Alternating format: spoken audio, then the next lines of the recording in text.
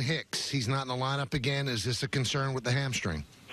Uh, no, I think we're in a good spot there. Um, again, playing it conservatively. Um, got the MRI. There's there's no you know grade of strain, which is good news. He just a little bit of tightness in there, so we're we're just being cautious with that again, especially with him being on the turf and stuff. He just walked past me about 10 minutes ago to head down to the cage. He's going to be hitting in the cage today, so.